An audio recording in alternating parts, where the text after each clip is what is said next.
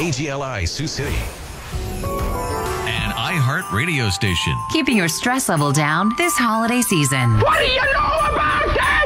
Merry Christmas! Sioux City's holiday station, KG95.